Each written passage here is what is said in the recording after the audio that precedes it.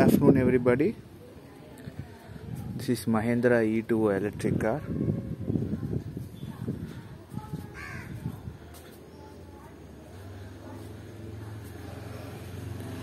I am working on it. These are the batteries.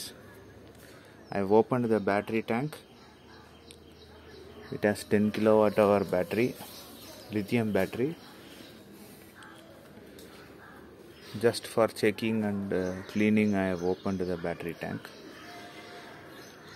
They are under the front seats.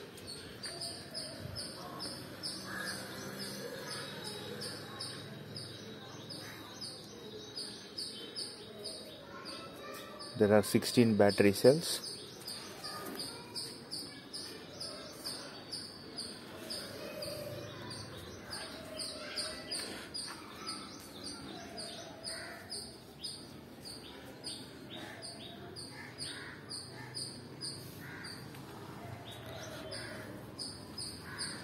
it's really hard work to remove all the center console everything.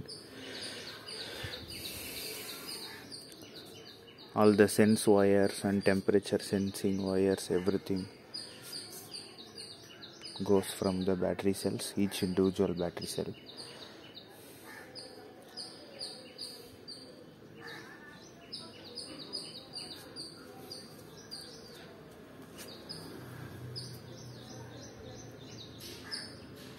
okay guys. Thank you for watching and i'll see you in the next video